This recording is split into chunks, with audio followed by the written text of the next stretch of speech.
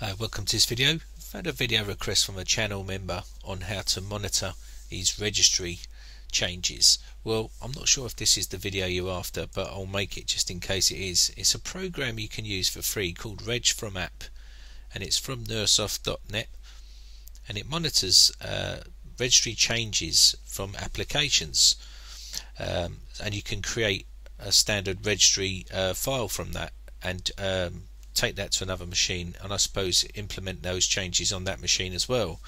So this is the actual program here. Works with uh, Windows XP 2000, Server 2003 Vista, uh, Server 2008 and uh, Windows 7.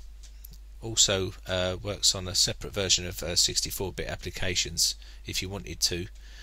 Um, there's quite a bit of information on here if you want to read up. It looks a bit of a geeky program to me, but if that's what you want, then it's all good but as you can see you can download the program from here and also uh, download a 64-bit version here if you wanted to.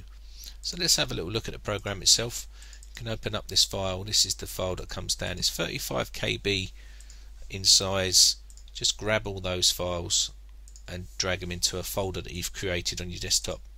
Then this is the actual program here. We'll fire that up like so. Can shut the back box down now that's it. So all we need to do is to show you a rough idea what it means. So if I can just go to Explorer like so click on that click OK. Now if I opened up uh, my documents this will create changes because I've actually done something. As you well can see there's now registry files inside there. Okay so if I did go to tools folder options and then view okay and then made some changes inside here like so you would actually see inside here now it's going to make some changes because I've made those changes. What we could do then is if we wanted to is save as uh, call this uh, whatever you like folder options uh, dot it'll be dot reg. Basically I'm going to save that to uh, my desktop and there you have the file okay? So basically this reg file now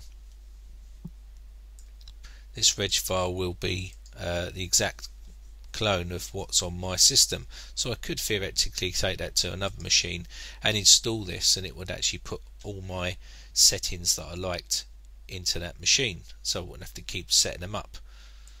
Um, there's quite a lot to uh, get your hand, head round in there but I mean basically that's exactly what that settings are on my machine which I've just made changes to and it's I've just saved it. So I'm not sure if that's what you're after but if it is then uh, happy days. If it's not then uh, try and explain it a little bit better to me and I'll try and uh, help you. Thanks very much for watching. I hope this has been some use to you. My name is Brian from britec.co.uk if you enjoy my videos like this guy does then uh, obviously put a request in there for a video and I'll make it for you. Or subscribe to my channel and uh, make comments if you've got any questions or anything like that. If you haven't subscribed to me uh, forum yet, then uh, head over to uh, my forum and basically register there and put your questions in there because it'll be a lot easier for me to answer them. And also, if you want to become an admin over there, then give me a shout. Make some posts and uh, let me see how busy you are over there, and I'll give you some admin so you can actually start um, being a moderator over there. Thanks very much again for all your support. Bye for now.